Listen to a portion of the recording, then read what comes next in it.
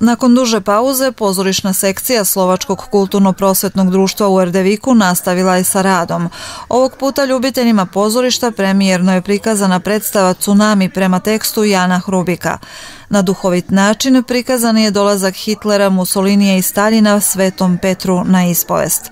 Ipak, predstava ima snažnu i ozbiljnu poruku kojom se podstiče publika na razmišljanje o strahotama koje su u drugom svetskom ratu prouzrokovali svetski moćnici i zločinci, prenosi režiser predstave Vladimir Šerfezi. Ja sam odabrao tekst s obzirom na ovu svetsku situaciju, političku, ratnu i šta ja znam, iz početka nisam mislio da će baš tako ispasti, ali evo i godišnjica bombardovanja Srbije, Jugoslavije i rato, svetski ratovi, tako da smo rešili da mislim da baš ovo u ovom trenutku je najbolje da ljudi malo stave prst na čelo i razmisle. Jer to smo sve doživeli već.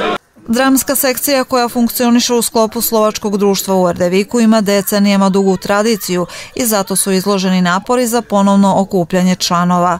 Uz pomoć iskusnog režisera probe su proticale glatko, tvrdi Mocko Rastislav koji je na originalan način izneo ulogu Svetog Petra.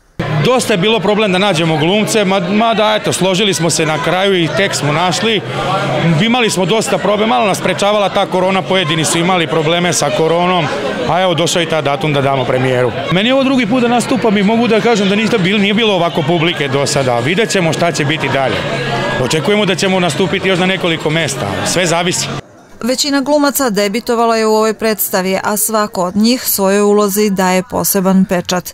Među mlađim glumcima je i Daniel Tot koji nam otkriva da uloga Hitlera nije bila posebno zahtevna. Nije bilo zahtevno s tim što je komedija, tako da više smo gledali to kao kroz šalu i kroz igru da napravimo predstavu. S obzirom da mi je ovo prvi put da igram u nekoj predstavi, ja sam zadovoljan, a čini mi se da i publika također.